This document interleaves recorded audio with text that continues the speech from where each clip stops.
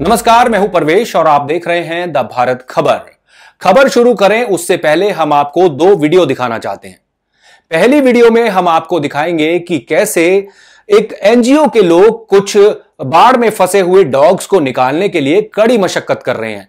ना उनके पास ऐसा कोई संसाधन है कि उनके पास तक वो पहुँच सके और अपनी जान जोखिम में डालकर कंधे पर डॉग्स को उठाकर वो बाढ़ प्रभावित इलाकों में से उनको निकालते हुए नज़र आ रहे हैं।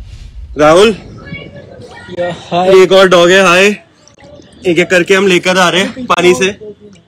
हाँ? पीछे और आ रहे हैं। There are more dogs by the volunteers every life matters every life is precious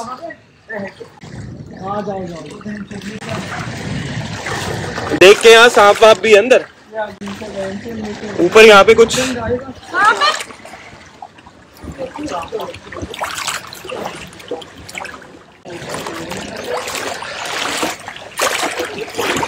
Rahul साथ में चलना आराम से That's another dog. They've been stuck here since night. Trying to take out as many as we can. Even the aggressive ones are right now very calm. They're tired, exhausted. God knows they haven't had food for hours. With the zeal and will to save as many as we can right now. अब दूसरी video जो हम आपको दिखा रहे हैं, उसमें आप देखेंगे कि कैसे नेशनल मीडिया चैनल्स के जो रिपोर्टर हैं, वो अपना दिल्ली की बाढ़ में मज़ाक उड़वा रहे हैं। हम ये इसलिए कह रहे हैं क्योंकि जब आप ये वीडियो देखेंगे तो आप भी खुद सोचने पर मजबूर हो जाएँगे कि ये आखिर किस तरह की पत्रकारिता चल रही है। क्या टीआरपी के लिए चैनल अब कुछ भी करने लगे हैं? ये तस्वीर देखिए, मोहतरमा एनडीआरएफ की टीम के साथ रिपोर्टिंग करने में लगी हैं। एनडीआरएफ की दो दो बोट्स इनके साथ चल रही हैं। और मोहतरमा लगी हुई हैं बाढ़ की रिपोर्टिंग करने के लिए। इनके कुछ ही दूरी पर पीछे वीडियो में दिख रहा है कि सड़क चल रही है और वहाँ पर कोई पानी नहीं है। मोहतरमा चाहती तो वहाँ खड़ी होकर भी इस बाढ़ की रिपोर्टिंग कर सकती थी, लेकिन टीआरपी चाहिए तो पानी में उतरना ही है, क्योंकि न्यूज़ चैनल्स के जो बड़े बड़े लोग बैठे हुए हैं, उनको खुश करना है। खुश करना है क्योंकि टीआरपी आएगी। तो टीआरपी के चक्कर में एनडीआरएफ को अपने साथ लेकर रिपोर्टर घूम रहे हैं, और जिन लोगों को आपने देखा पहली वीडियो में, वो लोग मशक्कत करते हुए, जिन लोगों को वाकई में ज़रूरत है एनडीआरएफ की, उन तक एनडीआरएफ पहुँच ही नहीं रही है।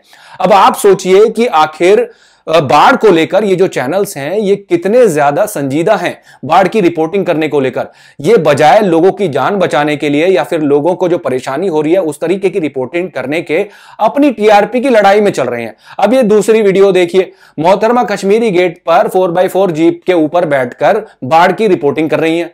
अब इनसे कोई पूछे कि भाई क्या ज़रूरत पड़ गई थी? इस फोर बाई फोर गाड़ी के ऊपर बैठकर आपको बाढ़ की रिपोर्टिंग करने की। आप साइड में खड़े होकर भी तो अपनी बात बता सकते थे, लेकिन टीआरपी चाहिए। टीआरपी के लिए तो मैडम को उसके ऊपर चढ़ना पड़ेगा जीप के ऊपर, वरना इनको देखेगा कौन?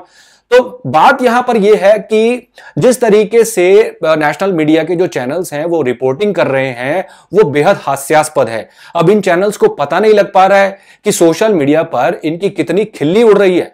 ये जो बाढ़ के पानी में ज़बरदस्ती उतर कर रिपोर्टिंग करने का नाटक कर रहे हैं, ये आखिर किस लिए है? ये सिर्फ़ टीआरपी के लिए। इनको बाढ़ में फंसे हुए लोगों से कोई लेना देना नहीं है।